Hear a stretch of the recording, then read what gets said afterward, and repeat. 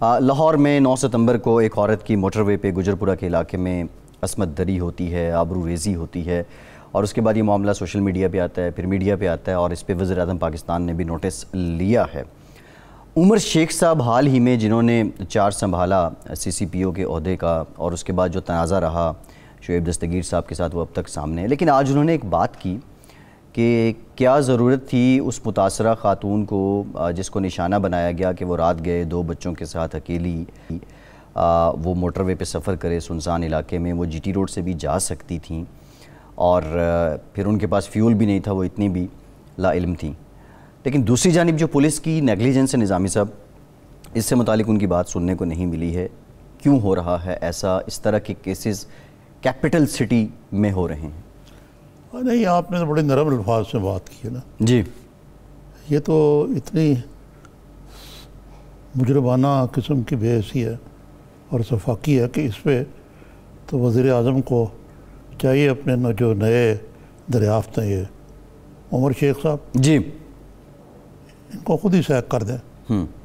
और मैं देखना चाह रहा हूँ कि इसमें शीरी मजारी साहबा जो ह्यूमन राइट्स की बड़ी चैंपियन जी।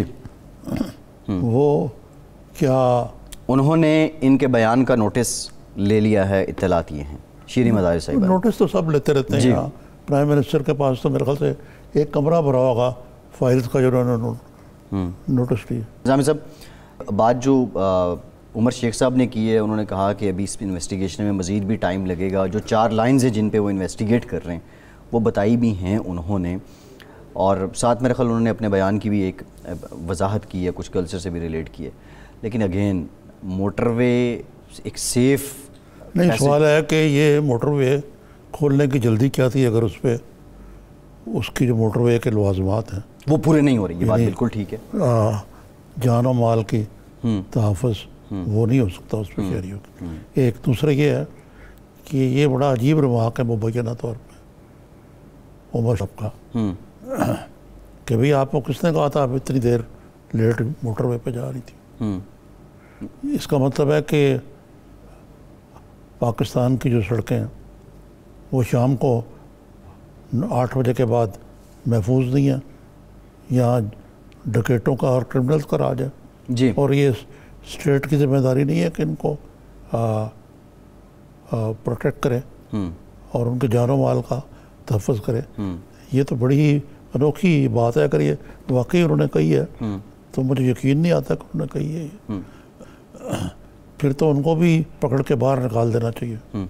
निज़ामी साहब बाहर निकालने की तरफ़ आएँगे जो उनके आ, मतलब साथी हैं वो जो बात कर रहे हैं वो यही मुतालबा कर रहे हैं वो तबादले की बात कर रहे हैं। लेकिन मेरा सवाल ये है एक वाक़ ये है एक कराची का वाक़ है। पाँच साल बच्ची उसके साथ इस तरह का फेल होता है फिर उसकी जो लाश है उसको झुलसा दिया जाता है। ये शिद्दत जो इन वाक़ात की वो क्यों क्यों बढ़ गई है? और दूसरा ये बताएँ निज़ामी साहब ये जो मुआशी मसाइल हैं उनके साथ इस तरह के सोशल क्राइम का क्या लिंक है क्या कोई ताल्लुक होता है यकीनन ये जो लॉकडाउन है इसके अंदर जो लोगों की बेरोज़गारी और और मसाइल में इजाफा हुआ लेकिन ये कोई जस्टिफिकेशन नहीं है हम्म। ये हमारा कौम का जो मॉरल फाइबर है हम्म। वो बड़ी तेज़ी से तनजली का शिकार है हम्म। और उसका ये शाखसन है ठीक है। अच्छा निज़ाम साहब, ज़रा उमर शेख साहब की तरफ़ आ जाते हैं, जो पचास उनके साथी हैं, उन्होंने जो उन पर एक तरह से अदम अतमाद किया है और लिखा है कि इनका तबादला कर दिया जाए। और ये भी कहा कि जो अल्फाज उन्होंने इस्तेमाल किए, वो इंतहाई नाजेबा थे। ये प्रेशर देखते हैं आप आईजी के हवाले से कह रहे हैं। नहीं मैं उमर शेख साहब सीसीपीओ साहब से मुतालिक बात कर रहा हूँ। आईजी के बारे में जो आईजी के बारे में जो उमर शेख साहब के अल्फाज हैं उसको लेके मैं बात कर रहा हूँ। उनके कुलीग्स जो हैं उन्होंने एक मीटिंग की और ये कहा पचास के करीब आला अफसरान हैं। उन्होंने कहा कि इनका तबादला कर दिया जाए।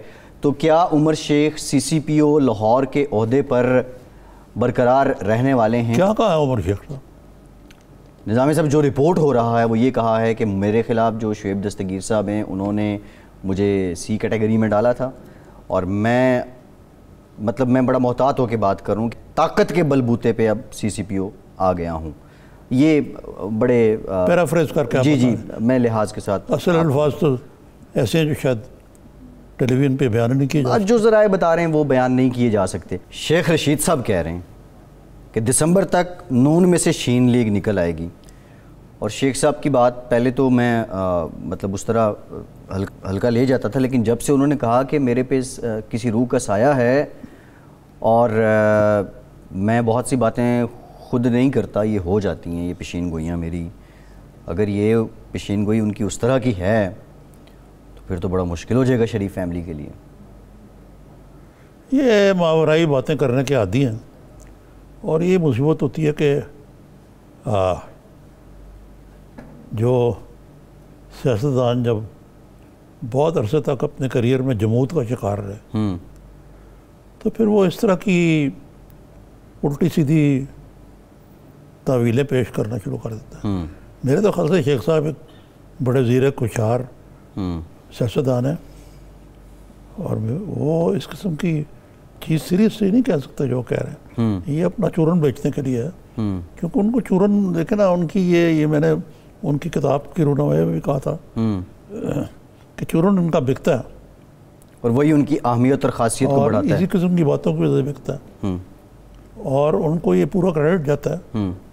कि एक वन मैन टीम ने अपनी एक न्यूसेंस वैल्यू जो है। नागुजीर वैल्यू बना दी। बना दी हुई है। कि वो आप उनको ज़रा प्रोग्राम के लिए अगर इनवाइट करेंगे हम्म, तो कहेंगे मैं आ जाऊँगा लेकिन ज़रा मैं देख लूँ। हम्म, फारग कब हूँगा? नंबर टू आऊँगा मैं अकेला। हम्म, तो ये मतलब उनकी एक मार्केट वैल्यू है। लेकिन ये इस किस्म के फिक्रेबाजी से ही है ना। क्योंकि आम आदमी जो है वो बड़ा लती वो वो जो होता है ना हिस्स को समझते हैं आम लोगों की ये ना, Unknown- नफ्सियात को भी। अननोन जो होती है ना fear of the unknown hmm, hmm, hmm, उसको एक्सट्रैक्ट करते हैं।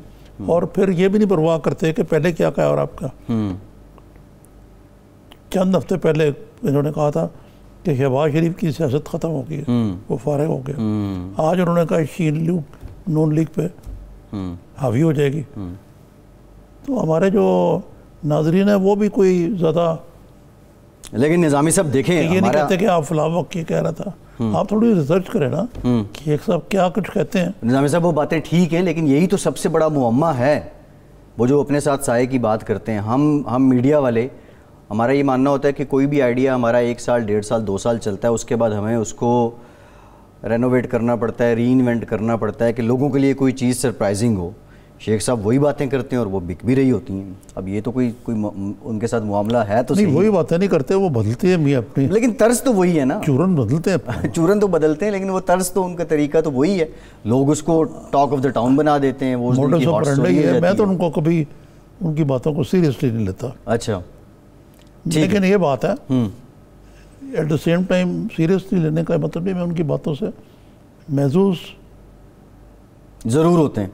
शेख साहब कोई उनको मैं कोई सियासी नकाद नहीं समझता। हम्म हम्म। वो एक एंटरटेनर है। हम्म निज़ामी साहब वो एक और बात उनकी किताब से निकली कि वो पाँच पाँच टाइम खाना खाते हैं। आपको उनके जुस्से से नज़र नहीं आता?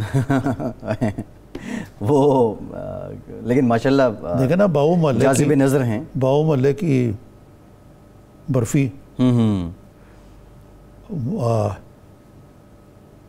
चिकन बिरयानी और कई किस्म के कबाब नहीं, वो तो गढ़ है जहाँ ये रहते हैं वो तो गढ़ है। कबाबों का बड़े शौकीन है। जी जी जी जी बिल्कुल ऐसे है। वहाँ पे इनकी लाल हवेली के सामने वो ये बाईपास वाला भी करा चुके ना? जी? बाईपास करा चुके हैं नहीं अभी? ये निज़ामी साहब मेरा ख्याल है इनका कि ये बाईपास का तो नहीं है इतला लेकिन ये बीमार हुए थे बीच में लेकिन माशाल्लाह हैं फिट हैं। अभी तक तो ठीक हैं फिर तंदुरुस्त देखे ना इनकी एक और भी तो बात है ना। हम्म, कोई फ़िक्र मुआश से आज़ाद लगते हैं क्योंकि फैमिली तो है कोई नहीं इनकी। निज़ामी साहब बड़ा सीरियस सवाल है। लोग इसको सीरियस हालाँकि लेते नहीं शेख साहब एक काबिल और एक कामयाब सियासतदान है। शेख साहब के इस सारी कामयाबी में शादी ना करने का एलिमेंट कितना इम्पोर्टेंट है कि अगर शायद वो शादी कर लेते, उनकी तवज्जो कहीं और हो जाती, अपने बच्चे प्रायोरिटीज़ बदल जाती उन्होंने गरीब आदमी की जो नफ्सियात है उसी को मलूज खातिर रखा। वो एक बात है। हम्म, उनकी कामयाबी की वजह यह है कि उन्होंने अपनी जो मुड है ना या बुनियाद है हम्म, उसको नहीं छोड़ा। वो आम आदमी की के बीच में रहे। कि लाइन ऑफ़ थिंकिंग जो है हम्म। जिसको वो लाल हवेली कहते हैं। वो अगर लाल हवेली से किसी डी एच ए में मुंतकिल हो जाता हम्म। मैं आपको कई मिसालें दे सकता हूँ। लेकिन निज़ाम साहब ये मौलाना कासर जी। नज़ीर मरूम जो है जी। वो लाहौर की इस्लामपुरा की हम्म। जामपल थे। हम्म। फिर इस्लामाबाद के होकर आए गए। मुशाहिद साहब मुस्लिम टाउन लाहौर से इस्लामाबाद के होकर आए मैं आपको कई और मसाला दे सकता